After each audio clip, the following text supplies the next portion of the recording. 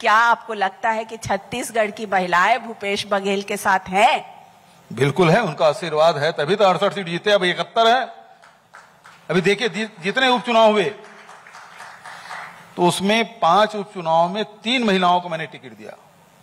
दंतेवाड़ा में देवती कर्मा जी, खैरागढ़ में यशोदा वर्मा, और अभिभानु प्रताप का भी तुरंत तुरंत चुनाव हुआ छह महीने पहले। उसमें सावित्री मंडावी तो पाँच में से तीन मैंने दिया मतलब साठ परसेंट दिया भाई मैंने।